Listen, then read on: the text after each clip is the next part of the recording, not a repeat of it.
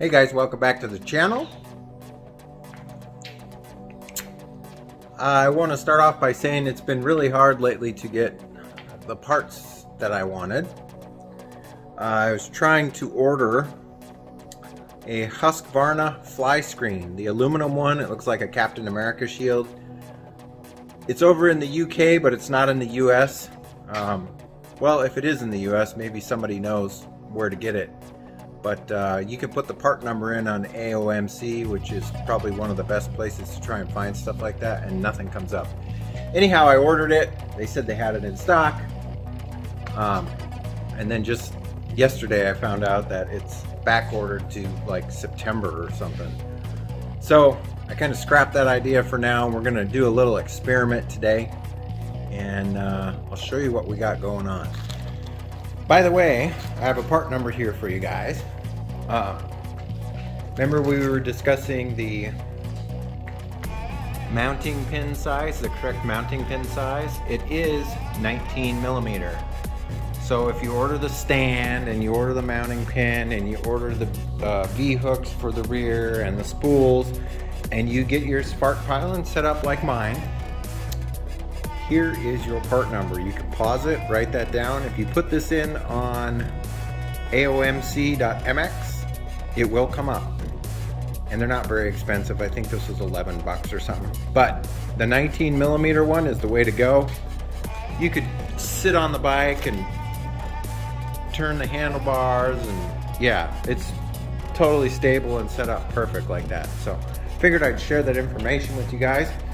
Um, we have this box that came today. We're gonna unbox that. That's kind of what this video is about. But you're gonna have to stay tuned for the unboxing of this and two other items that are gonna be here on Saturday. So that video will be out either late Saturday or um, Sunday afternoon or Sunday morning. So depending on what time the other two boxes get here. But let's get this one open right now. These shipping delays and issues are so frustrating. Um, I really don't even know what to say at some at some point. Anyhow, let's open this up. Uh, I will leave a link in the description for this as always. And this is kind of an experiment. I don't know if it's gonna work or not, but we're gonna find out.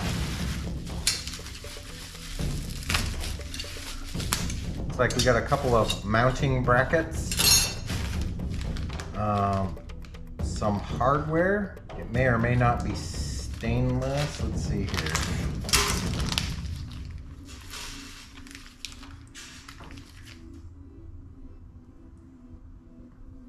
Let me get a magnet.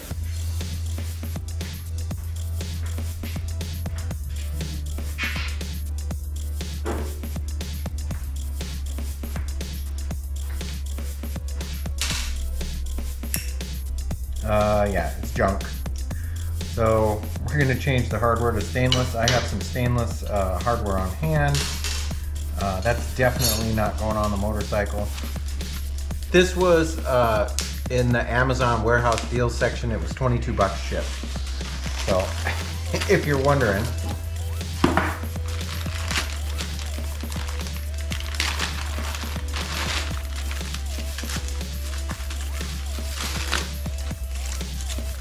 is a plastic or Lexan or whatever you want to call it fly screen. And uh, looks like some of these edges could be cleaned up a bit. But for 20 bucks, I figured I'd give it a shot. They do have an aluminum one. And um, I may get that. That's a little bit more. I think that's closer to $40. But um, I wanted to give this a shot to see if it would actually fit on the Svartpilen. And so that's what we're gonna do today. But the first thing we're gonna do is we're gonna get rid of this zinc hardware. That's going in the trash. And we're gonna replace it with stainless. So let's do that.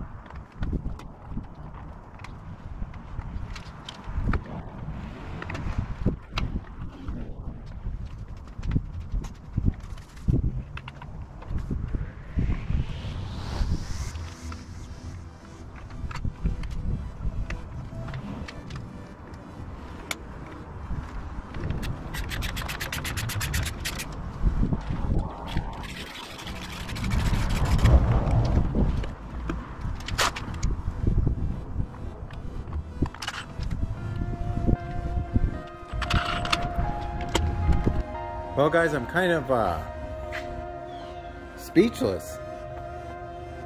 I am really surprised. For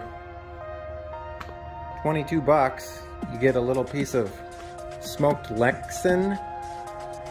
Um,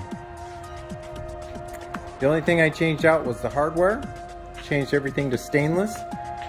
Uh, I actually changed these bolts out to uh, some bolts that I had in my spare parts bin. They're uh, off of a Subaru. I believe they hold the uh, plastic under tray on. Uh, but I had two of them and they were the perfect length and I did put some blue Loctite on them. And um, yeah, fits surprisingly or scaringly well, depending on how you look at things. They actually rest against the little um, light stalk that sticks out. It's almost like it was made for it, strangely enough. Now, this is not a full-on windshield, but it it's supposed to create a fly screen, which is the air pressure won't be so great on your chest. It might be still on your helmet, but it's supposed to provide like a little shield from bugs splattering against you and whatnot. But um, yeah, I don't know if I could find anything better than, you know, 22 bucks. I will leave a link in the description for this. Once again, you are going to want to change that hardware out because it will rust immediately. Anything zinc coated that's standard steel is not good for a motorcycle. Um, I use quarter 20 stainless one inch bolts. It even provides a nice little shade for the gauge cluster. I I really don't know what else to say. It it it fits surprisingly well. Um, and I may change it to something else down the road, but for now, heck yeah, I'll keep it. Um, it was scratched up a little bit, but I was able to get all the scratches out of it with some uh, PlastX. If you don't have any of this around, this is awesome stuff to have on hand. It does headlights, it does plastic trim, it does all kinds of stuff. Um, great stuff to have around. Been using that ever since it came out years ago. yeah. Now I just really can't stop looking at it. So it matches the uh, turn signal tint, the smoke lens on them. So yeah, awesome deal. Um, I don't, I really don't know what else to say. Um, you're definitely gonna want to stay tuned. We're gonna get that unboxed on Saturday or Sunday or whenever the rest of the parts get here. And we may have some adventures coming up with Abel and some friends. You guys are gonna wanna stay tuned for that. And we'll be taking the mini bike out for the testing. If you have watched the mini bike series, I was able to find a color change cover and it's, it's very simple. It's off of a Predator 212 and they sell them on Amazon and um, eBay.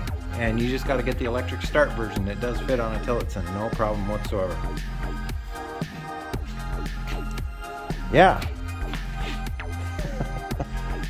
this outro is going to be really long because I really like looking at this. Anyhow, um, enough of my rambling. If you guys like this video, give me a thumbs up.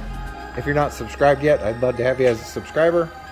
Uh, this went surprisingly well this episode, so for something so cheap that appears to work really well on this bike, I'm going to keep it on there for a bit.